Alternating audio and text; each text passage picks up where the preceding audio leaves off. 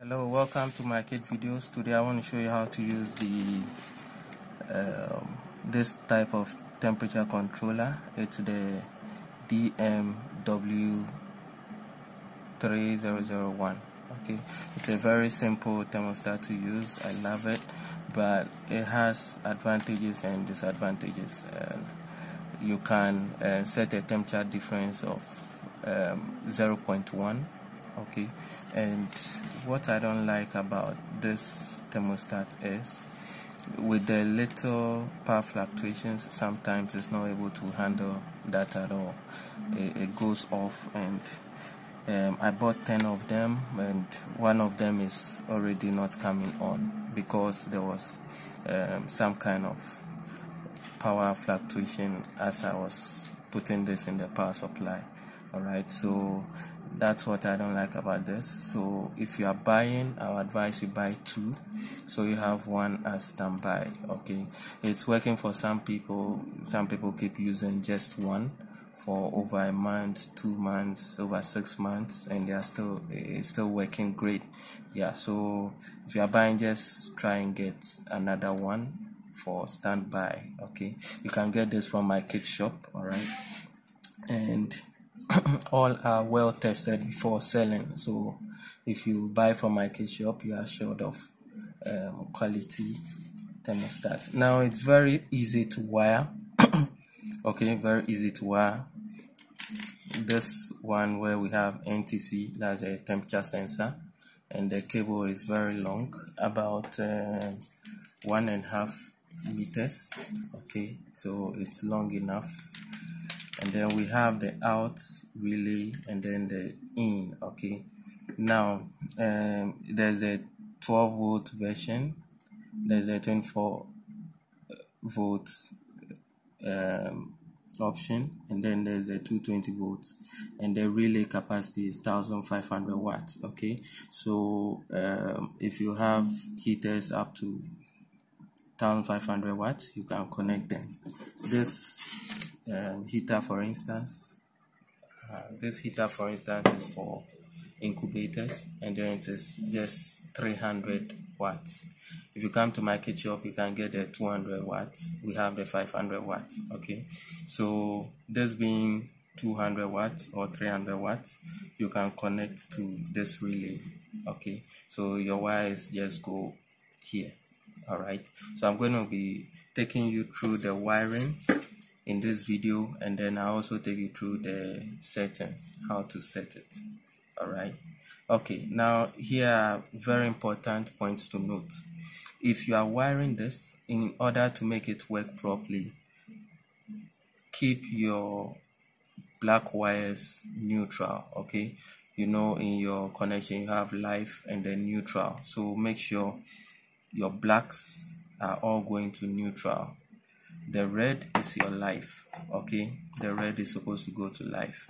All right so here's what's going to happen. The in the in we are going to put into our power supply our power socket which is 220 volts because that is marked over here. Over here can you focus? Yeah 220 volts is marked in red over here. So we are going to put this which is the in the two cables at the in to our power supply okay? The black will go to the neutral and the red will go to live okay? Very important. Let your red continue um, to your life okay? And if if you are loving the video already be sure to subscribe. I'm going to wait um, a few seconds. Yeah come on. Please um, hit the subscribe button. Yeah it helps a lot uh, okay thank you very much thanks for subscribing and thanks for loving this video. All right so here's how you are going to look for your your life. So let's say here's our power supply okay? So if you put your tester all right this is common to get it's called tester in electric shops. Yeah you put in your terminals and you can see the red can you see the red light? Can you? Can you see the red light? The tester. Tester. Can you see the red light? Come close to the. Okay. Yeah. So this red light indicates this our life, our lifetime now. This is the earth okay won't be using this often. And then there's the neutral. The neutral doesn't give any light okay? But the life terminal gives light all right yes so that's how you, we are going to do it. So um this one i'll put this aside. This one is already connected. So we have red going to our life focus. I should okay so I'm putting the power on. And very important um, let me talk about this the out. Now the out will go straight to your your load. Um, if you are using this as a controller for a cooler this will go straight to your 220 volt fan okay or your 220 volt cooler this is already neutral. This is already live. So just connect them straight away. If you are using this as a controller for heater you have your heater. You have your heater. Straight away you connect this wire to the neutral and then this to the live. Okay? Uh-huh. unlike the other thermostats like the STC 1000 there's a different way to wire it. But this one makes the work uh, much easier. You just connect them straight all right so the moment so the moment you connect this you are going to have power in these wires. So you should be very careful when testing them all right so that you don't get shocks. Yeah so i'm going to separate them okay? So that my live and my neutral don't touch okay. Don't touch. Okay so i have my live and then the neutral. And i'm going to just use this to just keep the wires stable okay? Else when there's any arcing that could uh, blow your thermostat up. So i'm turning it on and we have it on already. Yes can you see this red light here? Okay that's the indicator that there's power in the out there's power in the out section. Mm-hmm. indicator meaning there's power in the out section. So if you have your heater or your cooler connected this red light shows that that heater or cooler should be working by now.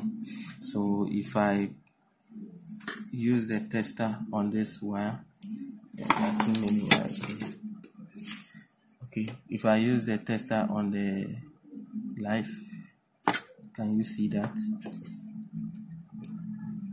Can you see? Can you see the light?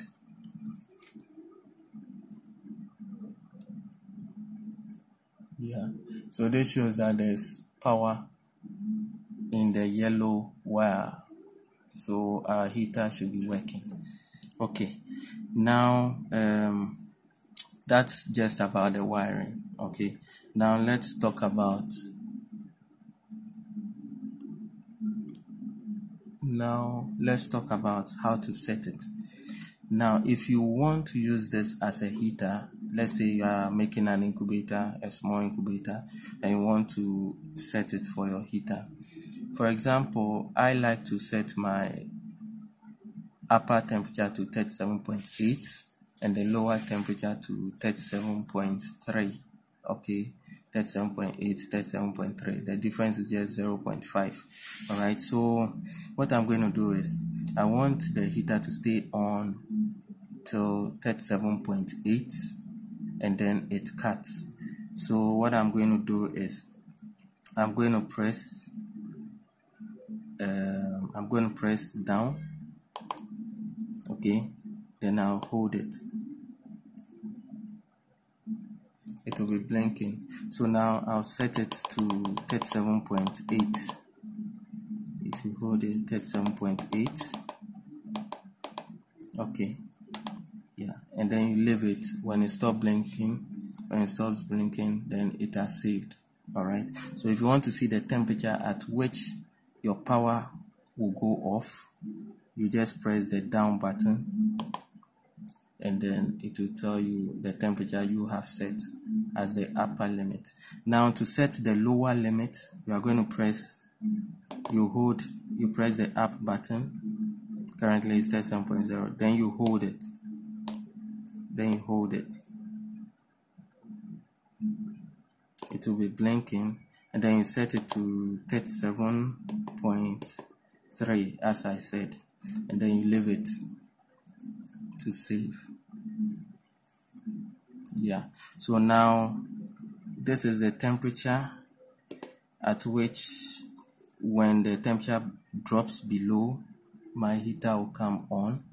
And then this is the temperature at which my heater will go off. All right.